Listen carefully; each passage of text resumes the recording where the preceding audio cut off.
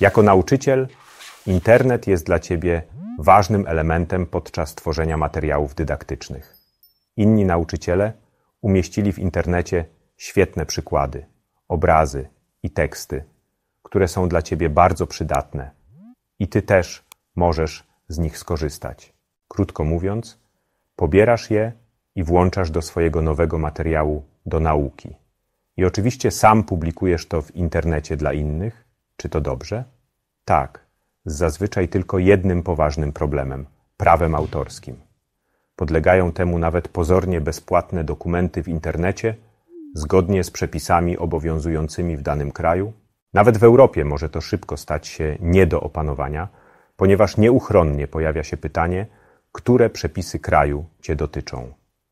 W krajach niemieckojęzycznych jedno byłoby jasne. Nawet pozornie ogólnodostępne materiały podlegają ochronie praw autorskich i nie można z nich korzystać bez dodatkowych informacji. Jeśli nie masz żadnych konkretnych informacji na temat dalszego wykorzystania, możesz jedynie skorzystać z opcji cytowania.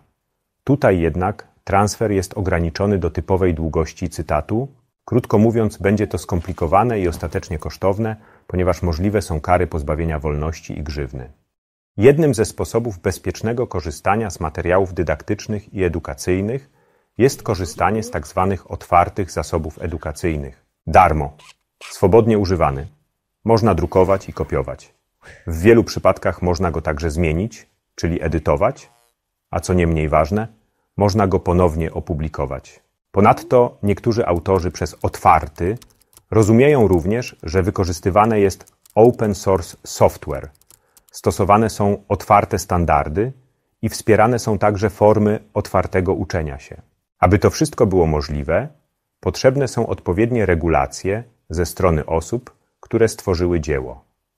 Ale żeby nie zawsze musiało to być regulowane dwustronnie na piśmie, istnieje możliwość uregulowania tego ogólnie dla wszystkich, kto korzysta z zasobu, na podstawie licencji, chce skorzystać. Teraz wspomniałem na początku, że każdy kraj ma swoje regulacje prawne i nawet w Europie daleko nam do jednolitego prawa autorskiego. Potrzebne są więc umowy, które pozwolą na swobodne wykorzystanie materiałów. Takie umowy nazywane są także licencjami.